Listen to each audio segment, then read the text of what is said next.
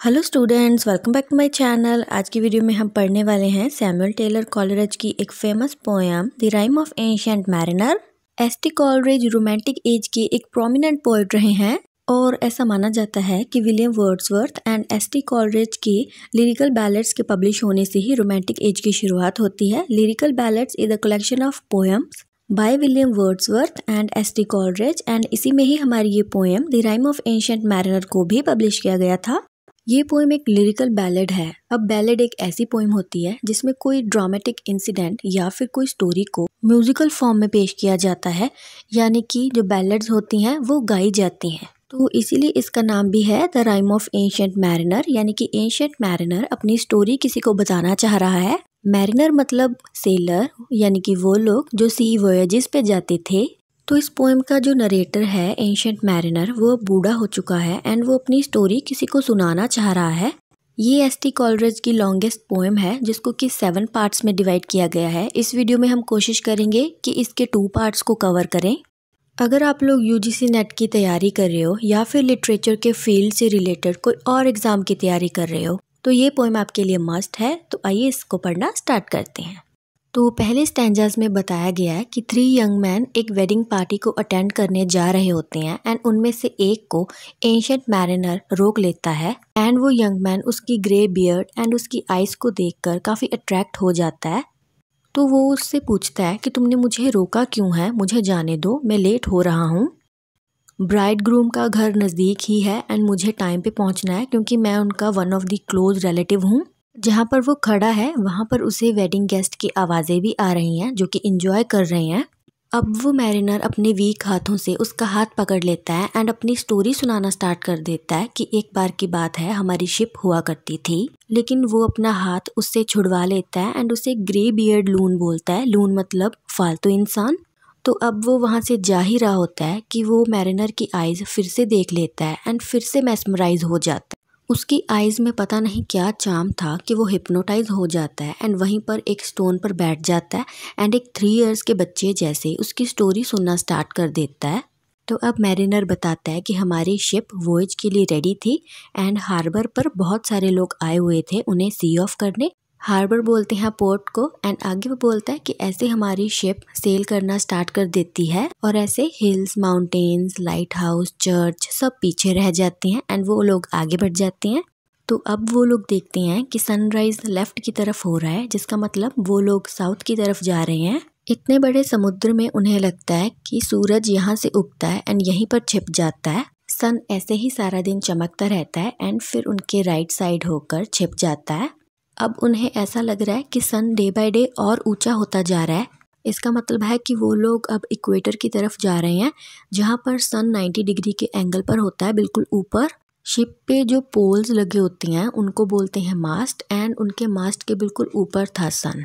तो वो young man mariner की स्टोरी तो सुन रहा है, लेकिन साथ ही ब्राइड ग्रूम के घर से आ रही म्यूज़िक की आवाज़ सुनकर उसका माइंड डाइवर्ट भी हो जाता है। वो सोचने लग जाता है कि ब्राइड ज़रूर हॉल में आ गई होगी एंड वो एक रोज़ जैसे ब्यूटीफुल लग रही होगी। जो उसके आसपास म्यूजिशियंस एंड सिंगर्स होंगे, वो म्यूज़िकल इंस्ट्रूमेंट्स के साथ साथ अपने सिर को भी यूँ ज़ोर ज़ोर से हिला रहे होंगे। वो भी उस पार्टी को अटेंड करना चाह रहा था, लेकिन मैरिनर ने उसे ऐसा हिप्नोटाइज कर रखा था कि वो चाहकर भी नहीं उठ सकता था एंड वो फिर से उसकी स्टोरी सुनना स्टार्ट कर देता है। तो अब मैरिनर बताता है कि समुद्र में तूफ़ान आ गया था, यानी कि सी स्ट्रॉम। तो उसने इस स्ट्रॉम को एक बड़े से बर्ड के साथ कंपेयर किया, जो कि अपने विंग से शिप पे अटैक कर रहा था। और ये स्टॉम इतना पावरफुल था कि उनकी शिप को साउथ की तरफ़ धकेल दिया था। और इनके शिप का जो फ्रंट पार्ट था, वो बेंट हो गया था एंड वो पानी में डूब रहा था। इस शिप की हालत ऐसी थी जैसे इसके पीछे कोई दुश्मन पड़ा हो, फो मीन्स दुश्मन। एंड ये अपनी जान बचाने के लिए भाग रहा है। एंड भागते भागते ये बैंड हो गया है। और ऐसे फिर उनकी शिप साउथ पोल पहुँच जाती है, जहाँ पर उन्हें बहुत सारी बर्फ़ दिखती है। इतने बड़े बड़े आइसबर्ग्स होती हैं, उनके मैस्ट जितने लंबे। ये आइसबर्ग्स ग्रीन एमरॉल्ड के जैसे चमक रहे थे। आसपास सिर्फ़ बर्फ़ ही बर्फ़ थी, और वो बहुत चमक रही थी। उन्हें दूर दूर तक कोई भी एनिमल या फिर ह्यूमन बींग्स नहीं दिख रहे थे। जब आइस में क्रैक्स पड़ते थे या फिर आइस टूटकर नीचे गिरती थी सी में तो ऐसी आवाज़ें सुनती थी, जैसे कि एक पर्सन को सुनती हैं जब उसे चक्कर आते हैं। साउंड का मतलब है फेंट होना या फिट्स। तो आगे वो बताता है कि जब वो लोग अकेले थे, उनके आसपास कोई नहीं था तो उनके पास एक एल्बेट्रॉस आता है, जो कि एक सी बर्ड होता है। इस फॉग में उस बर्ड का आना, यानी कि एक उम्मीद का आना माना गया, एंड वो लोग उसे एक प्योर सोल मानने लगे। जो बाकी सेलर्स होते हैं, वो उसे देखकर बहुत खुश होते हैं एंड वो उसे खाना भी ऑफ़र करते हैं। वो बर्ड उस शिप के आसपास गोल गोल घूमने लगता है। तो अब एक आइसबर्ग टूटता है एंड उसके टूटने से एक थंडरिंग साउंड आती है। तो अब सेलर्स उस बर्फ़ में से अपनी शिप को जैसे तैसे निकाल लेते हैं एंड साथ ही साउथ विंड भी चलने लग जाती है एंड उनकी शिप अच्छे से सेल करने लग जाती है। तो अब एल्बर्ट्रास भी उनके पीछे पीछे आता है। वो अब उनसे फैमिलियर हो चुका है। वो उनसे खाना भी खाता है एंड उनके साथ खेलता भी है। वो शिप के मास्ट पे भी जाकर बैठता है एंड इन सब एक्टिविटीज़ को वो नाइन डेज़ कंटिन्यू रखता है। और वाइट फॉग से उन्हें हल्का हल्का मून भी दिखने लगा है। तो अब एंशियंट मैरिनर बोलता बोलता एकदम से रुक जाता है।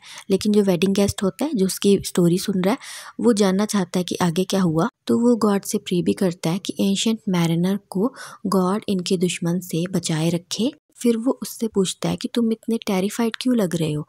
तो मैरिनर बोलता है कि मैंने अपने क्रॉस बो से उस एल्बर्ट्रॉस को मार दिया था। तो ऐसे यहाँ पे फ़र्स्ट पार्ट ख़त्म हो जाता है। अब हम पढ़ते हैं सेकंड पार्ट तो अब एंशंट मैरिनर उसे बताता है कि अब वेदर थोड़ा चेंज होने लगा था, सूरज भी निकल आया था। हालाँकि अभी भी वो मिस्ट में छिपा हुआ था मतलब इतना क्लियर नहीं दिखता था। उनके राइट साइड से सनराइज होता था एंड लेफ़्ट साइड में सनसेट हो जाता था। तो अब हवा भी अच्छी चलने लगी थी, लेकिन वो बर्ड उनके पास नहीं आता था, ना कुछ खाने, ना उनके साथ खेलने, क्योंकि उसको तो एंशंट मैरिनर ने मार दिया था। तो उस एंशंट मैरिनर को, उस बर्ड को मारने का गिल्ट भी होता है, एंड जो दूसरे मैरिनर्स होते हैं, वो इस चीज़ के लिए उसे कंडेम भी करते हैं। कि वो एक लक्की बर्ड था एंड उसके ही आने से अच्छी हवा भी चलने लगी थी एंड हम लोग भी यहाँ से इजीली निकल पाए थे। लेकिन अब क्या होता है कि सन और भी ज़्यादा चमकने लग जाता है। वो गॉड के, यानी कि जीसस क्राइस्ट के सेक्रेट हेड जितना चमकने लग जाता है। तो इससे क्या होता है कि जो दूसरे मैरिनर्स होते हैं, वो अपनी ओपिनियन चेंज कर लेते हैं। अब वो कहते हैं कि मैरिनर ने उस बर्ड को मारकर अच्छा किया, क्योंकि उसकी ही वजह से उन्हें फॉग एंड मिस्ट का सामना करना पड़ा था। वो एक अनलकी बर्ड था। तो अब फेयर ब्रीज चल रही है। ब्रीज मतलब हवा एंड वो लोग बहुत ही आराम से आगे बढ़ रहे हैं। उनका रास्ता एकदम क्लियर है। और उन लोगों को ऐसे भी लग रहा है कि वो पहले ऐसे लोग हैं जो इतने काम एंड साइलेंट सी में सेल कर रहे हैं। तो अब वो हवा एकदम से रुक जाती है एंड उनकी शिप भी वहीं पर रुक जाती है। एंड वहाँ पे पूरी स्टिलनेस थी साइलेंस थी एंड वो सेलर एक दूसरे से बात करते हैं, तभी वो साइलेंस टूटती है। वहाँ पे इतनी गर्मी थी कि आसमान भी ऐसे लग रहा था जैसे कॉपर जल रही हो। सन भी पूरा रेड था एंड उनके मास्ट के एकदम ऊपर था एंड वो मून जैसे लग रहा था।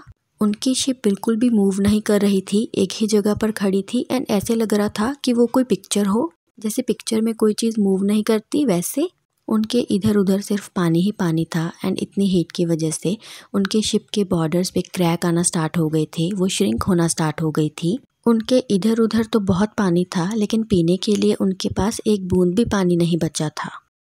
उनकी शिप भी अब खड़ी खड़ी गलने लगी थी। और उन्हें वहाँ पे अगली क्रिएचर्स भी दिखने लगे थे, जो कि सी सरफेस पे क्रॉल कर रहे थे। ये बहुत अगली एंड हॉरेबल सीन था, इसीलिए वो जीसस क्राइस्ट को याद करते हैं। तो उन सेलर्स को बहुत सारी रातें ऐसे ही गुजारनी पड़ती हैं, वो बहुत टॉर्चर होते हैं। सी में कुछ ऐसी चीज़ें हैं, जो रात को चमकती हैं, और ये चमकती हुई चीज़ें ऐसे लगती हैं, जैसे कोई विच अपने ऑयल को बर्न कर रहा है एंड उसमें green blue and white lights निकलती हैं। कुछ सेलर्स को तो ऐसा सपना भी आता है कि कोई स्पिरिट उन्हें पिछले नौ दिनों से फॉलो कर रही है। वो एल्बर्ट्रॉस की डेथ का बदला लेना चाहती है। तो अब प्यास की वजह से उन सेलर्स की टंग पूरी तरह सूख चुकी है, रूट तक। वो कुछ भी बोल नहीं पा रहे। ऐसा लग रहा है जैसे उनके गले में कुछ फंस गया हो। सूट का मतलब यहाँ पर है जैसे उनके गले में कोई धुआँ फंस गया हो। वो सेलर्स कुछ बोल तो नहीं पा रहे थे, लेकिन उनके जेस्चर्स एंड लुक से ऐसे ही लग रहा था कि वो उस मैरिनर को ही अपने इस हालत के लिए ब्लेम कर रहे हों। तो अब वो अपने गले में पहना हुआ क्रॉस निकाल देती हैं एंड उस डेड एल्बर्ट क्रॉस को ही अपने गले में लटका लेती हैं as a punishment for his evil deeds तो यहाँ पर इस पोएम का सेकेंड पार्ट भी हो जाता है ख़त्म। नेक्स्ट वीडियो में हम इस पोएम को ही कंटिन्यू करेंगे। तब तक के लिए take care and see you in the next video